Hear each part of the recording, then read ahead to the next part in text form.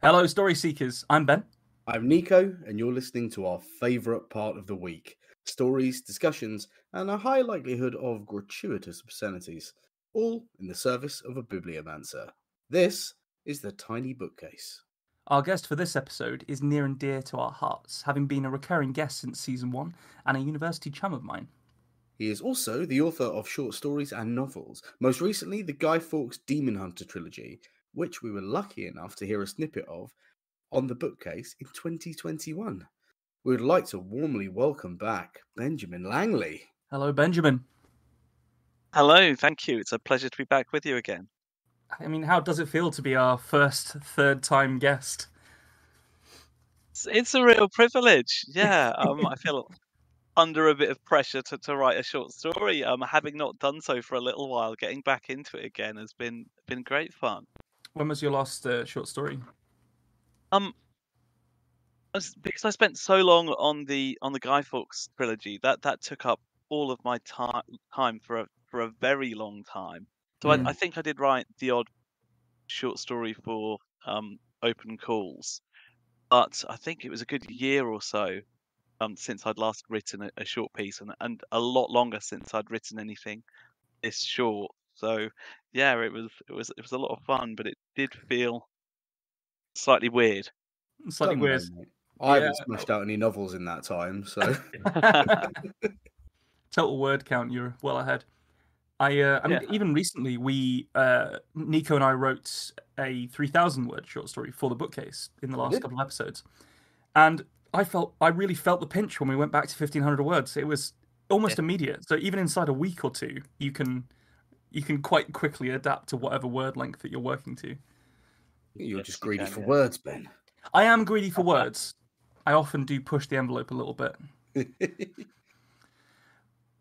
so uh, now that that's drawn to a conclusion, the Guy Fawkes stuff, have you got another historical figure ready to to rehistorize? That's not a word. it works, I think. Um, not oh, not a historical figure as such, but um, okay. while I'm while my head's in that era, um, I'm outlining something about the drainage of the fens um, a story in which a family pray to God that this is not going to happen and ruin their livelihood.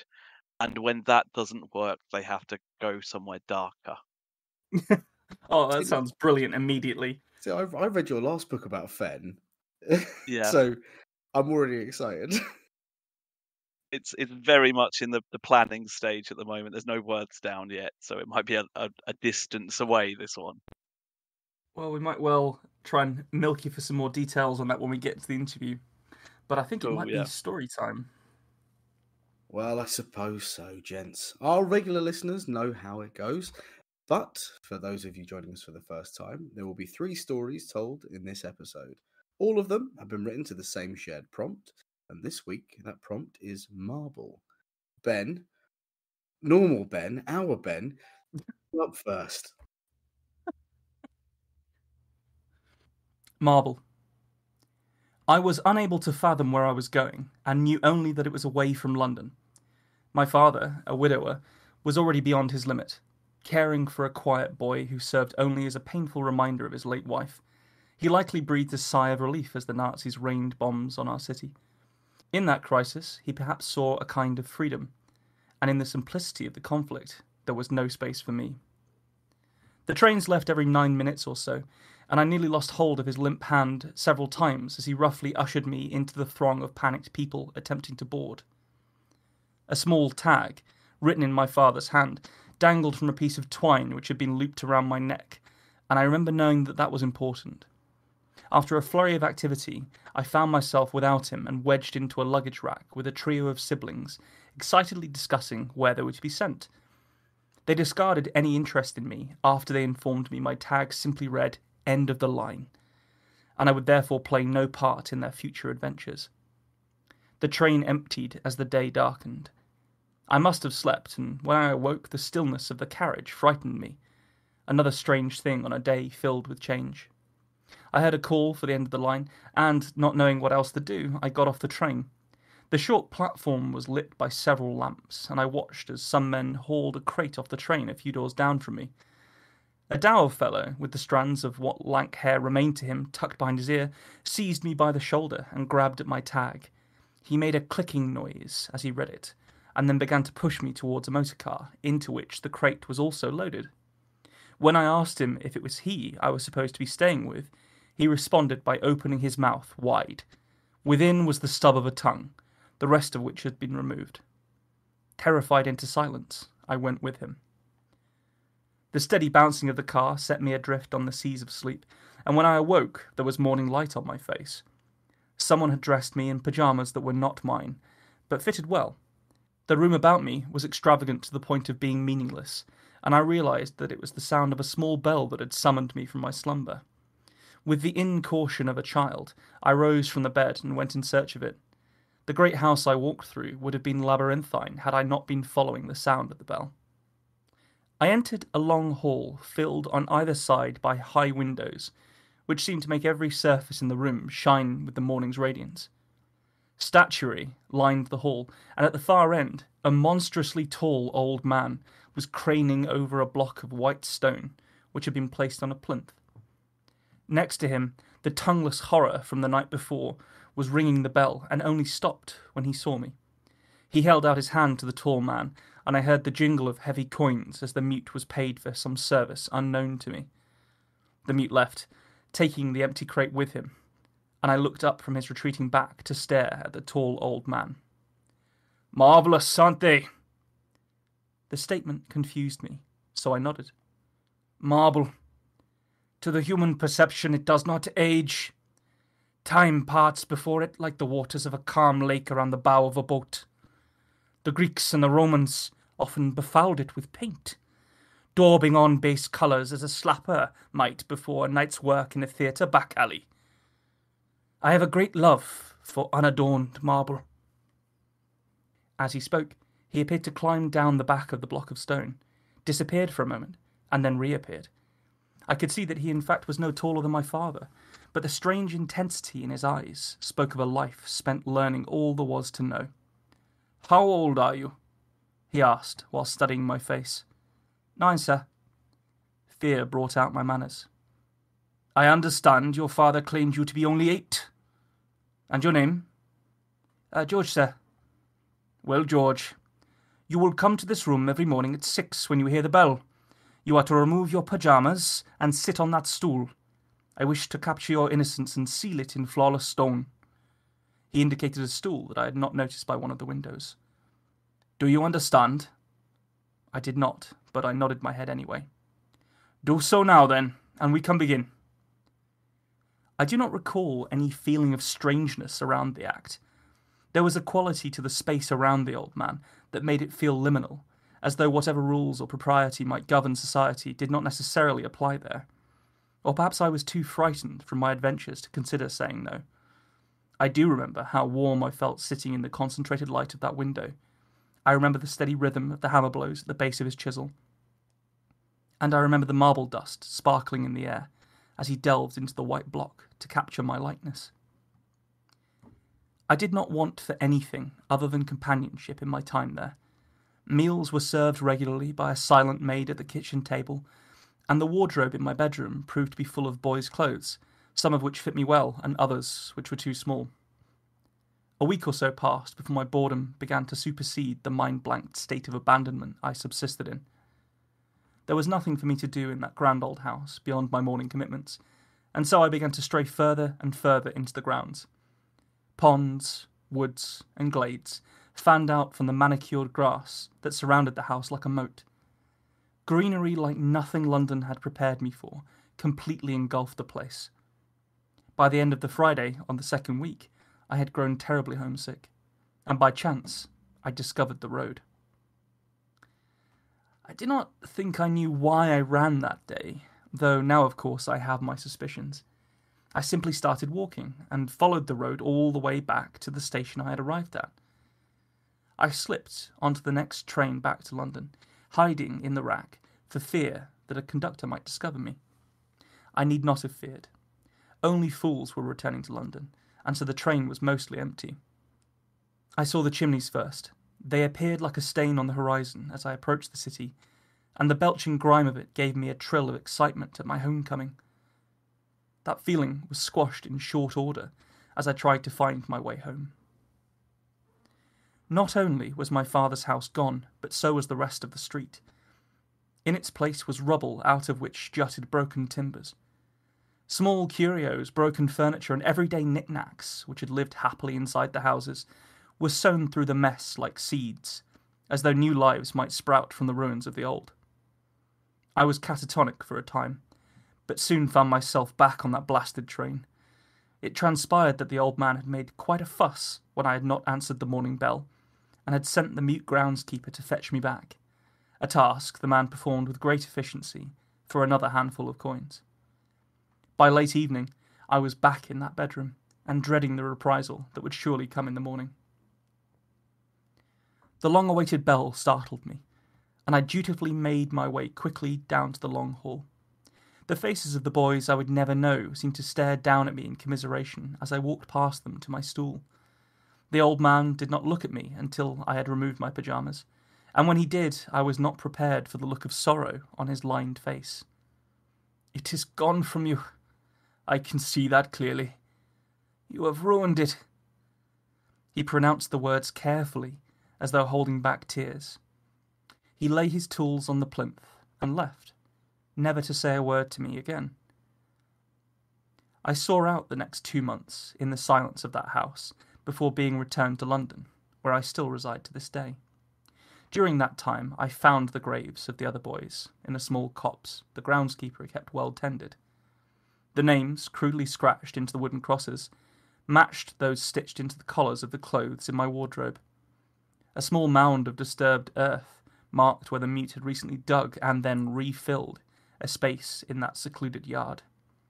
Even then, I think I knew what the old man had taken from them, what he might have taken from me. Those poor unfortunates, their innocence captured, and their souls stolen by marble. Goodness me.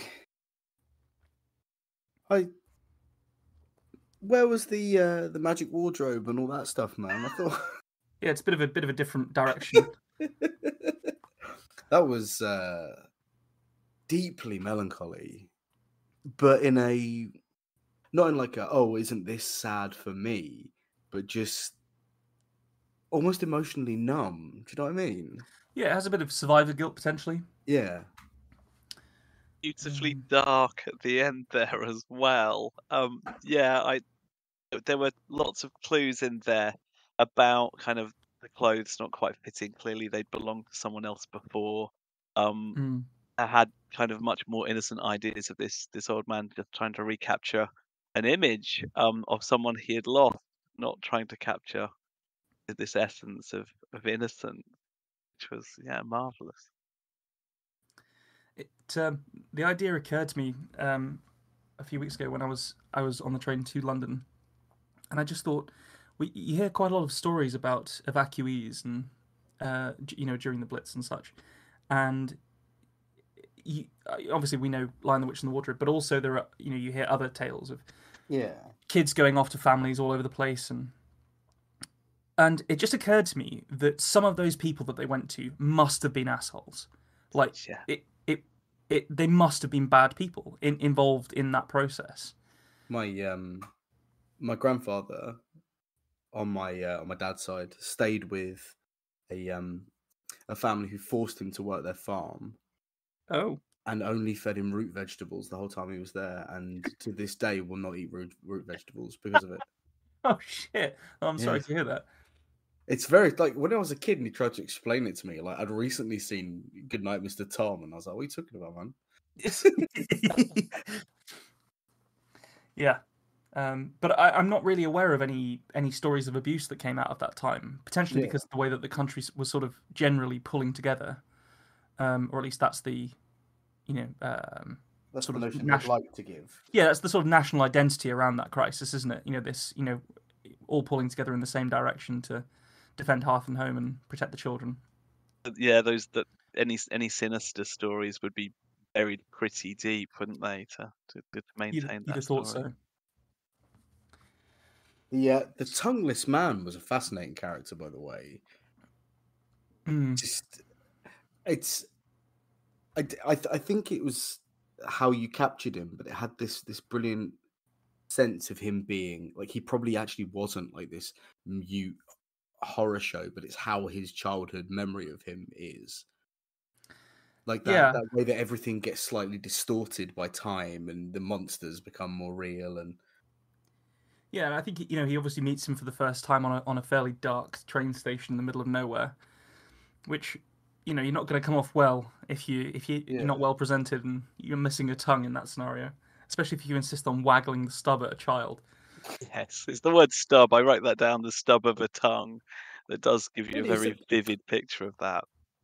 Mm. it's, it's the waggle that gets me, Benjamin. I feel so- like It's always the waggle that gets you. You're a waggler, a born waggler. hey, that's a cultural difference. Okay? Just be grateful I didn't call this character a ragamuffin at any point. Otherwise, you'd have been fully at it. um, no, I, I think th- with that character, I think I was trying to uh, get a bit of the opening of Great Expectations going. okay, yeah, yeah, I Um, see that. Just this like terrifying creature of the night. um, but yeah, I I, it- I, enjoy, I often enjoy these ones where you sort of you you're use well I use a like a like a childhood memory as the, as the lens. yeah. Um, it's, I, I find it quite an interesting way of telling stories. So enjoyed it. Yeah, I think I think you do do it very well as well. Like you're you're quite good at capturing that, um, especially like ref- reflective youthfulness. Yeah, I think Yeah. you do that particularly well, it's because I spend most of my day doing that. I think in my reflecting on your youth. yeah Oh dear. time's gone by. Well, Anyway, that's uh, that's quite enough of me in this. I think, unless anybody else has got any nice or horrible things to say about it, I'll I'll happily take either. I very much enjoyed how quick it moved into the story. At first, we the, we're with, we're traveling immediately. Small details of the tag and the twine. We can kind of see this chaos as he gets on there, and then then just the end of the line, just a phrase that that has that literal meaning, but but so many metaphorical meanings as well. To to tease that early on, it just opens up to lots of possibilities about what might happen here. So I thought it was a very effective mm. lead into this. It's very kind of you. I think potentially one of the reasons why it moves along at such a clip is that um, when I when I plotted the story out, uh, I was very pleased with it, and when I started writing it, I realised that it was a six thousand words short story. Uh, so I had to alter the structure considerably, and still wanted to get as much of the good bits in as I could. Um, so potentially it, it it suffers from a little bit of compression. Um, I think um, yeah. you actually you followed that principle of of like letting parts of the story tell themselves though, like that the familiar visual language that we're used to of the evacuee, you deployed very elegantly to to like put us in the right setting. So I Mm. think I think like where you've had to compress, you've done it with the tools that we've we've worked on and talked about before. So Yeah. Well, that's yeah, that's the both both things very kind, so appreciate it. Thank you And very much, guys. and you're a wanker. There you go. Oh, thanks. Oh, oh Balance. good. Now I now I can come.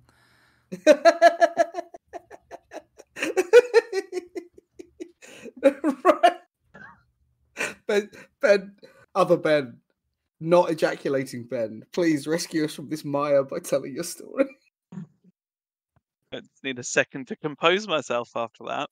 okay, um, here oh, goes. not you as well. Oh, that one that one really came from the back of my head. That one. I'm, I can only apologize. That's not where it's meant to come out.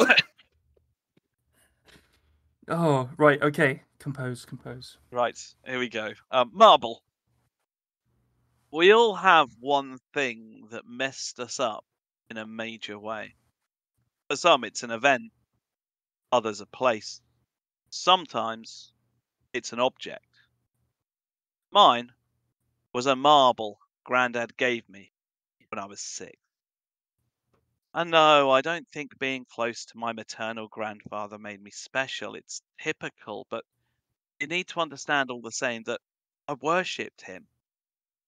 Dad was busy with work, but Grandad had me in his garage, handing him tools for building furniture and carving toys. With his shock of white hair, he was full of the wisdom you'd expect from a guy who looked about as old as the world itself for someone with only six years of perspective. Dad yelled when I messed up. I'll tell you, he was loud. Hacksaw on metal, loud. So when Grandad told me we all make mistakes, and it's what we do after that matters, it felt profound. Grandad always steered me right. To a bloke like that, sitting watching a screen was sacrilege. So when I tried to show him Phoenix on my Atari 2600, he distracted me by reaching into his pocket and pulling out a marble. The marble, the size of an eyeball, milky white with little flecks of red like explosions of bloodshot. I put down the joystick, deaf to the 8 bit bleeps of swooping aliens, and gazed at that glass ball. I ran my thumb over the surface, finding a chip on one side. Come on, Grandad said, tempting me away from the console. We'll make a marble run. In every step of the process as he bored holes through blocks of wood meant for the fire and showed me how to cut the joints and carve in the grooves. Soon enough, he had this castle, a tower at one corner. He put the marble in the top, and it disappeared, emerging on a path that ran around the outside of the castle wall, before moving inside and dropping into the courtyard, beneath the portcullis and along a track. I must have dropped that marble into that tower a hundred times. That marble accompanied me everywhere all summer. I reached into my pocket and an explosion of possibilities hit me. Mum bought me more marbles and I created different courses out of bits of chipboard and blocks of wood. I raced them, and Grandad's marble always won. It was bigger, and collisions sent unworthy pretenders flying off course. My obsession brought the marble into nightly dreams of Grandad's house, where I dropped the marble on the floor and watch it roll in different directions, always leading me to him in the kitchen, in his shed, out into the garden. And when I found him, the dream faded away. I was back at school, but still in shorts with the marble in my pocket when Grandad took ill. I wanted to show him the marble run I'd spent weeks constructing, which stretched to the bottom of the garden, elevated at different heights on pallets. I wanted to give Grandad's marble a real test before he saw it. I traded two small yellow marbles and a penguin bar for the gleaming metallic marble, which was only a fraction smaller than Grandad's. I dropped all the marbles at the start of the course. That metallic monster sent some of the smaller ones flying, and it was close to Grandad's marble when they reached the first curve. I'd love to tell you what happened next, but I didn't think to look down as I chased those marbles along the garden, and I tripped over a damned hose pipe. Dirty kneed and not without a little pain, the kind that usually brings tears, I got up and raced to the finish. Don't think those tears didn't come. They were delayed, that's all. Delayed until I looked into the pot at the end of the run and found Grandad's marble wasn't there. The metallic bastard sat in the bottom. I started searching right away, but Mum stood at the back door and called me in. We had to go to the hospital, she said, to see Grandad. I don't remember that visit, only the, the dream that followed. I dropped the marble. It rolled straight to the stairs that led down to Grandad's basement. It bounced down the steps, but when it hit the bottom, it disappeared. The basement was illuminated with flickering orange light from the furnace which roared like the stomach of a starving man-eater. Grandad stood at a workbench, sawdust drifting around him. He turned to me, sadness painting his face, and crumpled into a heap of clothing. I had to find the marble so Grandad would get better because what does a six year old know about correlation and causation? Despite searching for an hour before school, I couldn't find it. I planned to hunt again after. That day dragged on right until afternoon break, when I saw it in the grass. A large milky white marble with bursts of bloodshot. I snatched it and rammed it into my pocket. It had to be Grandad's marble, didn't it?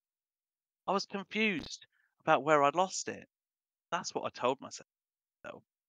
And yeah, even when Mrs. Peacock, my class teacher, stopped us from doing addition to ask if anyone had found a marble, I remained convinced he wasn't talking about the one I'd found.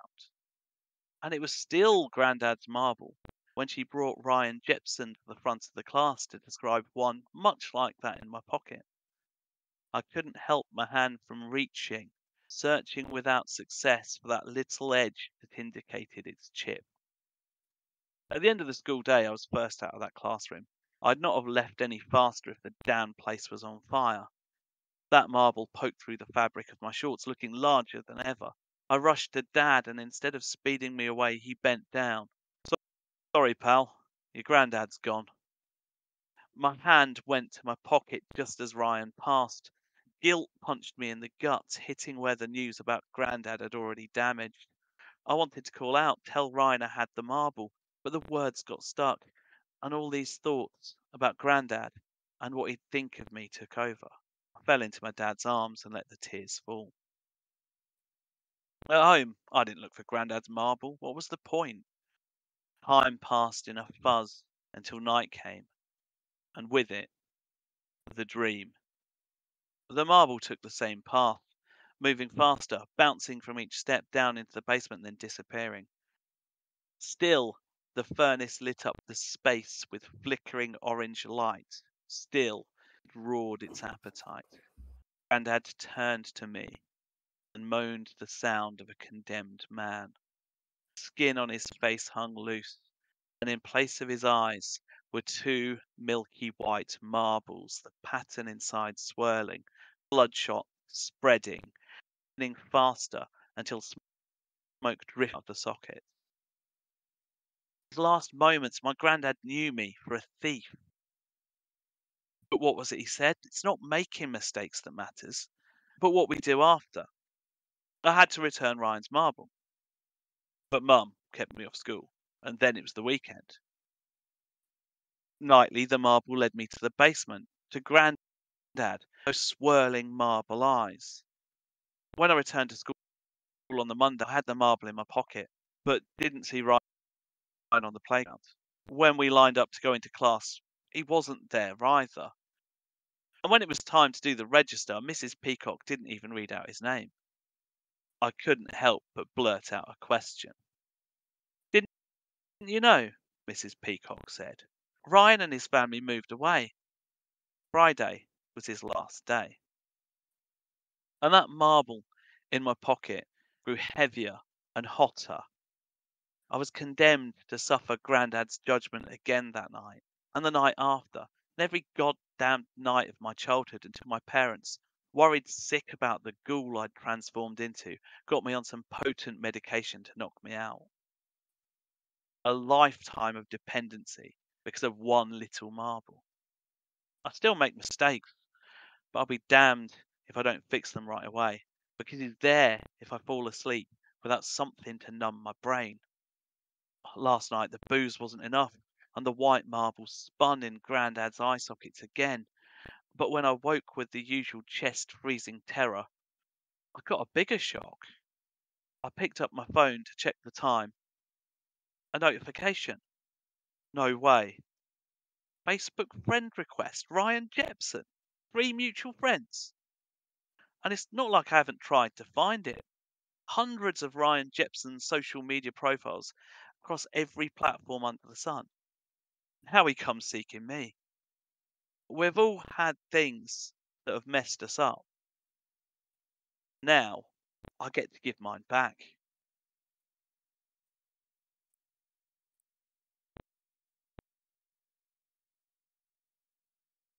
Hot damn, man. That was great.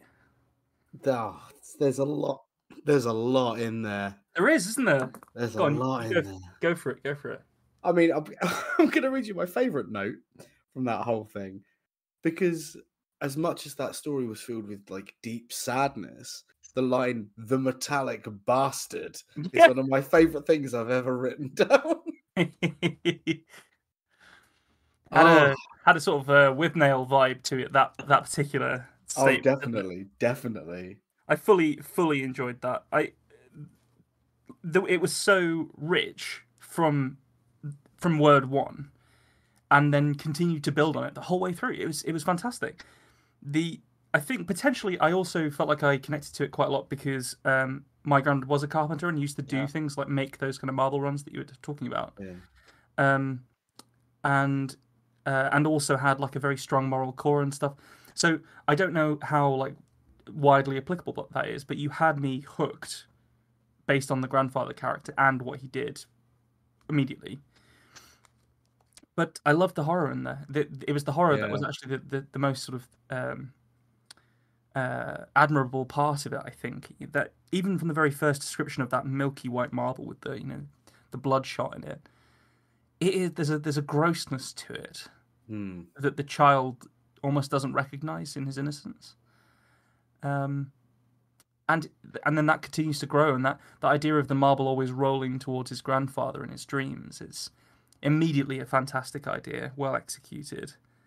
Um, I think Yeah. the, uh, the the sinister nature of the kind of the built of his own almost like marble based belief system yeah, is it's really nicely done the way it sort of uh, by the end you know it's translated through into adulthood and you have no doubt yeah this guy this has ruined this man Mm, this this actually sort of in the grand scheme meaningless thing and you could you can easily imagine that when he finally opens that friend request the guy's not going to be like it's where's not my the matter, fucking is it? marble Yeah, to him it's gone. It's, yeah. but like it's it's it's nothing to the other guy but it's yeah it's completely shaped the your lead's life and that's i mean uh, if nothing else a brilliant sort of extraction and dissection of of personality and how people are and how they come to be yeah, root, really rooted nice. in childhood is the is the point Yeah. there, isn't it? Like that. It, the when you, you you find that like deep gear of just smashing forwards in Yeah. time from Yeah. when he gets fucked up yeah to him as a fucked up adult. That was fantastic. That was such a kick. Uh, really, really worked very, very Yeah. well. And it, Um, yeah. it's, it's, it's almost like a sleep paralysis demon grandfather Mhm. he has to drink through. Oh yeah, it's just lovely. I say lovely, horrible for him. Yeah, but lovely in terms of narrative. I was going to say I had I had to do an awful lot of work to get this down um, into the word count. So so the the first draft was from a younger perspective, and it was about um, 1900 words. Um, but then I kind of thought, actually, no, we'll, we'll go older, looking back further, and, Mhm. and I'll rewrite it from there. And then it got to uh, 2,500 words. Like, that's that's about a thousand, just over a thousand words over. So then it had to be uh, chopped up quite severely and pared back to to get it to where it was. And you are aware of the you're aware of the rule that it's a lash for every word you are over. So I mean It's, that would it's, have it's been exactly back's in- fifteen hundred now. It's exactly Yeah. fifteen hundred. If that was true, my back would be in absolute tatters by now. That Yeah. You'd just be a pair of hands and a face in a jar. still still writing and reading them out, but it doesn't look good. Yeah, I one of one of my favorite bits in the, in in the whole story came quite near the end, and it's that feeling of being trapped by childhood, by the limitations of childhood, Mm. Yeah. when his hi- this this person moves away and there's fucking nothing he can do about it. Because that's a problem that goes away almost immediately when you get any kind of independence or money. Yeah. Um, and it, but it, but it's it hamstrings you as a child. Like you, you have to live your life inside these parameters, and you use those parameters to create dramatic tension and horror. And was It was just daughter. such an elegant way of doing it. Yeah. So please, please go on. I was, I was talking to my daughter about something like this the other day. She was saying how, how big a deal it felt to to leave behind friends um, at the end of primary school when they they were still in the same village. They were going to a Mm. different Yeah. school the next village over, but it felt like a world apart. And, and she's just come Yeah. back from from traveling where she's leaving people on the other side of the world and just kind of the perspective that's different when you're like 11 or in this case 6 is just huge. Yeah. Is that is that was that a route for this in the story? I- or, I think- or- or I think possibly, yeah, kind of sub- subconsciously. Um, it, it was a case of just kind of writing kind of lots of things down when I looked at the prompts, kind of like marble, and Mm. kind of uh, I kept coming back. It was this image of the marble eyes spinning that that kind of uh was the driver Yeah. for it, really. It's them starting to smoke because of the friction that was getting me in the when you were talking about it. Yeah, That's some Hellraiser stuff right there. It's Yeah. horrible. Eey. We have such Um, sights to show you.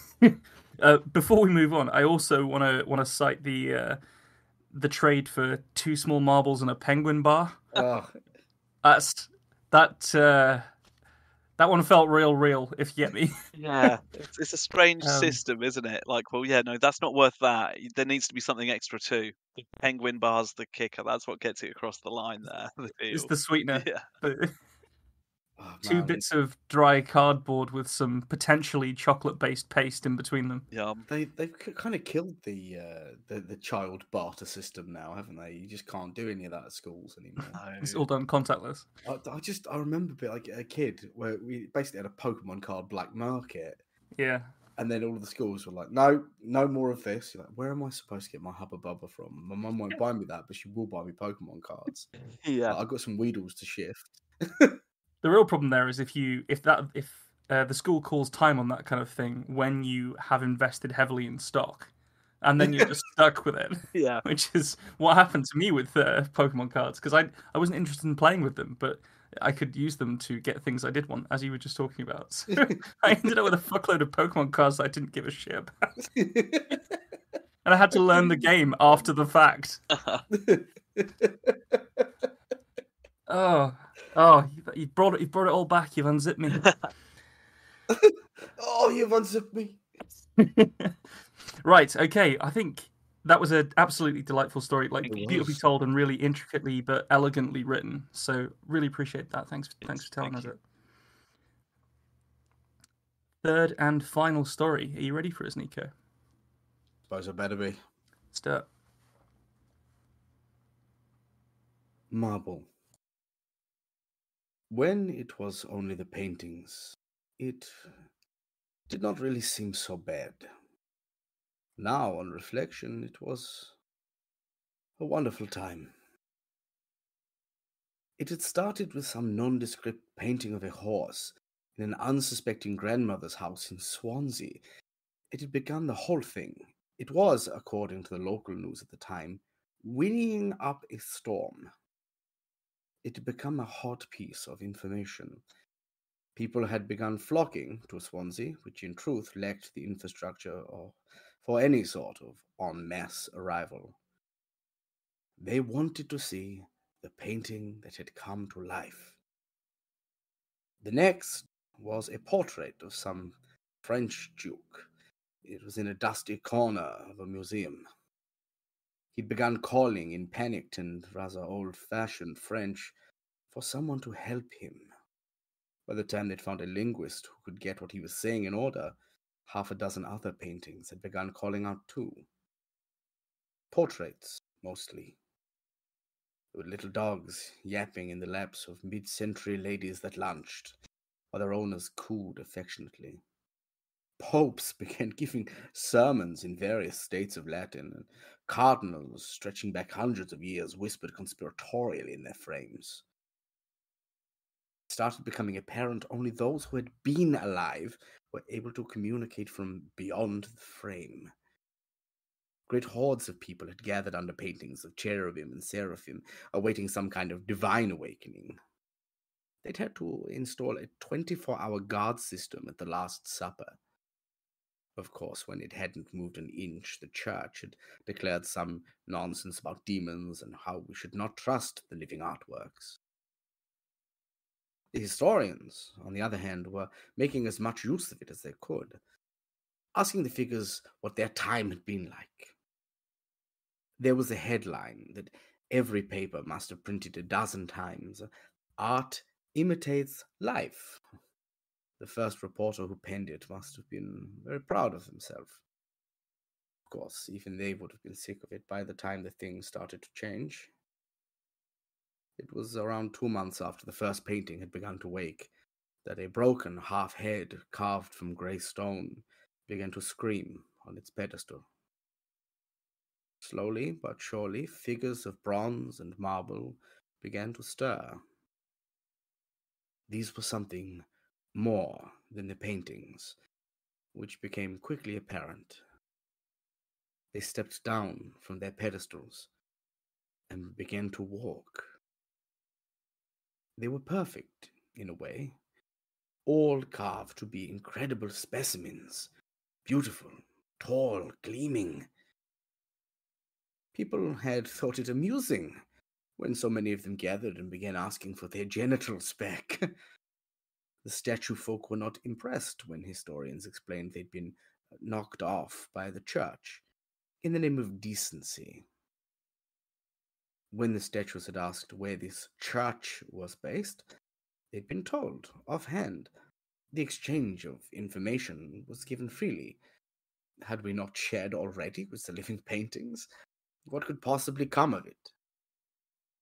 So when statues began to walk across the ocean floor, breathless and tireless, and massed in Rome, the first concept that perhaps there was a problem emerged. There were countless living effigies of emperors and great warriors. Unlike the fops and dandies living in portrait form, these men were not willing to take it laying down. The Vatican was the first country they took.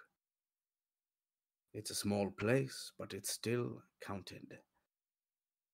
We hadn't really considered what it meant before then. The whole art imitates life thing. That had been a, a joke, a play on words. But was this imitation? How do we handle this? These creatures have no legal rights, save the protections they had been afforded as heritage pieces. So, what do we do now? The world leaders would have to gather to discuss it no G summit. No, they, they all must attend. Which, of course, started the petty bickering over who would host such a thing. Long dormant rivalries and ancient hatreds warred out with the need for defense. It was only the Vatican, many of them said. Barely even a real country. Catholicism has had its day. The United States of America insisted they could not leave their soil for this matter. Several Middle Eastern and Asian nations rebuked their invitation. In the face of failed compromise, the living carved continued their sweep. Some of our own fell in with them. A new religion was birthed, cult like in the wake of their tread. They couldn't be blamed for it. The statues gave orders, but only to each other. They answered questions only when they felt like it but their unstoppable march dragged with it the weak, the hungry, the abandoned. So many who felt the world had forgotten about them were willing to watch it burn and even help to ignite it. It took less than a year for mainland Europe to have its throat slit by the carved. Well serving human thralls were given positions of rule over conquered cities, and country borders began to vanish the Marble Dynasty was established. I had lived for most of my life in Berlin, but now I am part of the great marching column that seeks to spread across all corners of the world. I was taken because I had attended art school.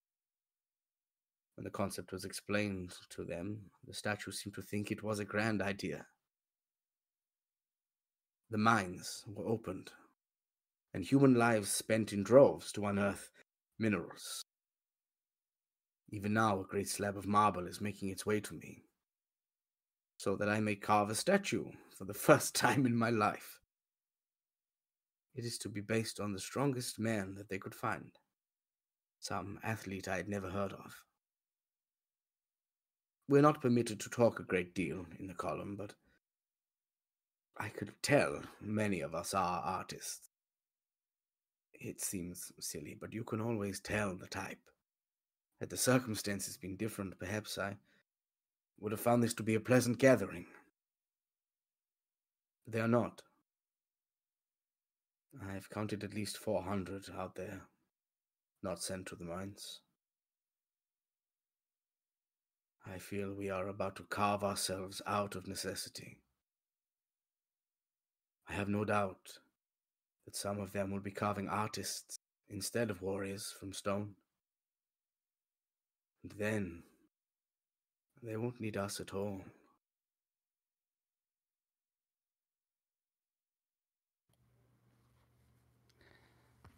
Loved it. The concept, so simple yet wonderfully executed.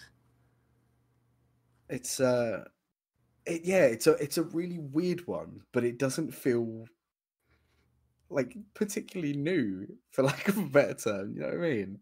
Yeah, I, I, I, I did write down towards the end like uh, uh like modern fears over AI Yes. plus plus Night at the Museum. Plus Night at the Museum. I like that. Um, but that's quite reductive, I think, because you actually did it far better in the story when you said art imitates life, and you you were making that making that joke. But Yeah. it, this is a a really interesting lateral interpretation of that, which is executed very very well. The I I love the idea of only people that actually lived come back. Yeah. That was really exciting, and the way that you just absolutely savaged the Last Supper with that was fantastic. um, and then to compound that with these fucking golems marching on the Vatican to get their dicks back is it was good. I mean, I, I think maybe like a year or two years ago, your story might have ended there. yeah. Like that might have been the the crescendo. That might have been you know you know the the punchline sort of thing. Yeah, okay. Yeah. Um, but it wasn't, and it, it leads you to this really interesting, like you know, AI printing themselves like almost like Matrix like situation, except with statuary. Um, really interesting interpretation of the prompt. Oh, just really liked it, and loads of lovely, lovely turns of phrase. You know, cardinals whispering conspiratorially is just wonderful. Um, Got a good mouthfeel, that one, it's isn't it, Yeah. great mouthfeel on that one. Yeah. I, yeah, I loved it too. I thought it was great. Um, just in terms of escalation, just from the first line, when it was only the paintings, it did not seem so bad. That tells you right from the start that things are going to get a lot more serious. Um, obviously, knowing the Yeah. prompt was marble, we had the idea of where that was going. um, but, but then I was always thinking, well, where do we go from here? How much further is this going to go? And it, it did so many great things. Just the idea of them as um becoming worshipped almost like um the word cult was, was mentioned there referring to them as yeah. the carved and the marble dynasty and, and the column that it was yeah it felt like this this had really escalated to, to such an extent um then we start talking about kind of yeah humanity no longer being required once they can uh the artist but yeah fabulous I think I, I, I, there was a lot when I was writing it. Where I was thinking about some time I spent in Rome last year, and there's just countless statues of like great generals and war heroes. And if if you just had, if you got all of the statues of Julius Caesar, and you put them together, it'd be like, like what, like a Megazord, yeah, like what what can it not achieve? Mega Kaiser. what you gonna Um, do? Shoot a man made of brass? Like, okay, Yeah, yeah. No, it, it's you. You captured this idea of these like uh, the terrifying aspect of a golem is this unliving flesh, so it's very difficult to damage it and stop it um, in in a sort of military way. And yeah, I really really enjoyed uh, like where that idea started, how it grew, and where it went to. It was it was that was fully fully well rounded and, and really really interesting as a as a concept and. I think you need some plaudits for that one. That was very good. thank you. I enjoyed that a That's- lot. That's that was a really good trio of stories. Yeah. Sometimes, I- I'm, I'm, I'm not, I'm not saying that we didn't do a good job here, but also I think prompts matter, Yes. yeah and I still, after all, after all this time, still haven't quite pinned down what makes a good prompt. And 100% agree. um, this is this is one of them. I think it felt like very fertile ground for us all to have gone in extremely different directions with it. Yeah. um, and nothing felt too like over trodden in, in terms of ground. Like um, there were still nice links between them. You know, with myself and and uh, Ben's um, story sort of focusing on this like younger point Yeah. of view, and even um, your uh, y- your story sort of takes place at the start in sort of Swansea. and stuff. I was doing a bit of a Welsh accent, yeah, stuff like that. Like there were links, but Yeah. it was yeah, really yeah. I really enjoyed and really enjoyed both of yours. So thank you, thank you both. A lovely trio. Great to be part Well, of it. What a So- pleasure, always. It's definitely important at this point that we should point out that you can buy Benjamin Langley's books. You can use your money to purchase them and then read them and then tell them what you think of them. Not can, should. Should. Yes, thank you. Good. You must. You must. Must do this. Um, so you can uh, head to benjaminlangley.co.uk for links and updates. Um, and also he is b underscore j underscore langley at uh, Twitter. Is there anywhere else that they should definitely? Instagram, Benjamin Langley, writer. Um, mostly pictures of the books I'm either writing or reading, so it's a it's quite a nice medium in that way. You can kind of talk about what I'm reading there, so so that's lovely. Um, have a Facebook page as well, which um again I think is Benjamin Langley writer. Uh, so that's yeah, but the, the website is more up to date than it was previously, so there's plenty of information on there, links to where you can get those books. Fantastic. Well, you join us on the next one for some questions, a bit of an interview, and we'll talk some more about Guy Fawkes' Demon Hunter, the trilogy. Thanks for joining us for this episode of The Tiny Bookcase. Remember to subscribe, otherwise you're going to miss out on the future fun. Also, tell a friend. If you like this episode, link them to it. We'd be tremendously grateful. You can follow us on Twitter at Bookcase Tiny, Facebook at The Tiny Bookcase, and Instagram at Bookcase Tiny for updates. Speaking of supporting the podcast, well, magic can only take one so far. The Tiny Bookcase is supported by the generosity of its patrons. Those kind souls have really kept my belly full the last year. Let's cast a spell for them, shall we? For magnificent beardery, let's cast the Chinicus folliculale spell on Gary Laird. For rich ginger tones on the scalp, let us cast the Orangi Hedondo spell for Scott Byrne. And for general fabulousness, why not the Ooh La La Mother spell on Matthew McLaren?